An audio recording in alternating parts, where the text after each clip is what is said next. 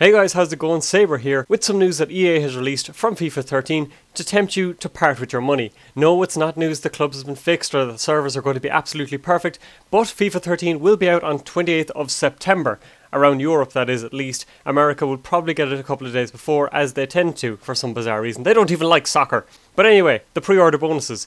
First of all, there's going to be a FIFA 13 Ultimate Edition as there was last year, so you're going to get 24 gold packs overall. It's one per week for 24 weeks. To be easier, it sounded honest last year where you got it on the first of every month and you could just open it at your leisure.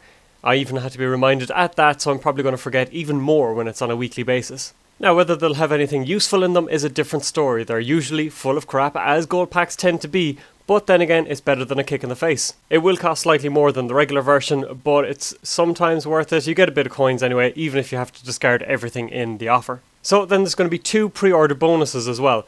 So there's the EA Sports Football Club bonus. You're going to get 10,000 extra club credits, which you can redeem against items like celebrations, a boost for your virtual pro attributes, and extra matches in the head to head seasons mode, so you'll have a couple of extra bites at the apple to make sure you get promotion or avoid relegation. But it's interesting to see that the experience and credits that we've built up through FIFA 12, other FIFAs, FIFA Street, and so on will suddenly become worthwhile and will actually mean something. The other pre order bonus then is the Adidas All Star team, so you'll have 23 of the world's top players uh, Lionel Messi, Nani, Benzema, and others as well. They haven't listed too many of them. They'll also have special Adidas kits that you can then use in online pro clubs.